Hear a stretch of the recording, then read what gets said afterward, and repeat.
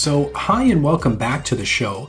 Uh, my name is Gavin MacRae, and I'm from GJ MacRae Foundation Repair, and this is our new video series uh, where we essentially tackle all things basement waterproofing and foundation repair related here in the GTA.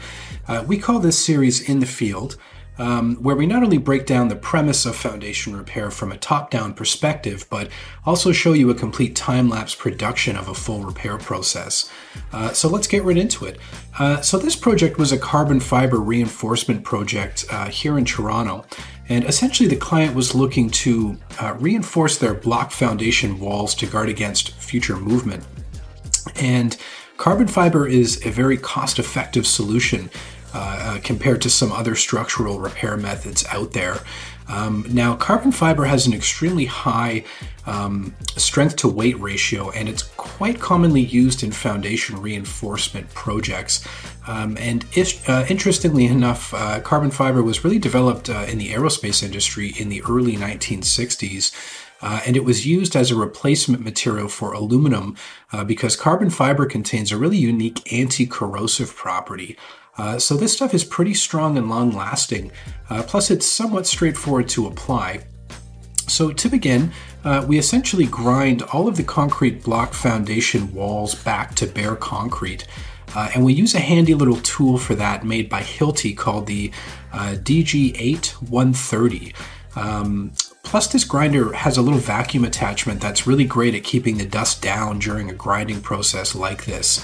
Um, so once the walls are clean, we essentially uh, open up the concrete floor uh, and expose the footings, and we drill the half inch hole uh, into the footings to basically act as an anchor point for the future uh, uh, carbon fiber installation.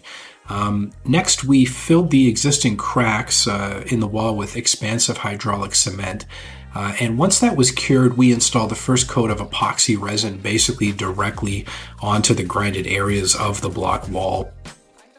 And for this particular application, we used a six inch wide strip of carbon fiber. Uh, it was actually the SRS uh, 600 UNI product from the team over at SRS Structural Reinforcements uh, down in Ohio.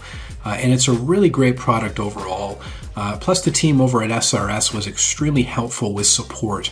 Uh, and they provide everything required for a proper application, um, you know, even down to a nice little box where the roll of carbon fiber can actually be unrolled and cut to length uh, in, a, in a straightforward way. And, and those small things are really valuable uh, to us. So, th- you know, thank you to the team over at SRS uh, Structural Reinforcements for a, uh, a really fantastic product experience.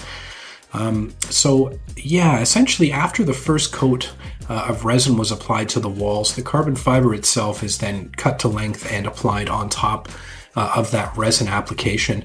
Um, and then it begins to activate as the resin cures. So, you need to work somewhat quick here. Um, next, we cover the top layer of carbon fiber with another layer of resin, and we, uh, you know, we really need to work the carbon fiber uh, nicely into the resin uh, by hand so it activates evenly. Um, once all that's done, then we go back over the applications to make sure there's no dry areas. Uh, then we essentially kind of repeat the process for all the strap installations. Um, and at the very tail end, we coil uh, the bottom of the carbon fiber strapping and install it directly into the footings for some additional rigidity.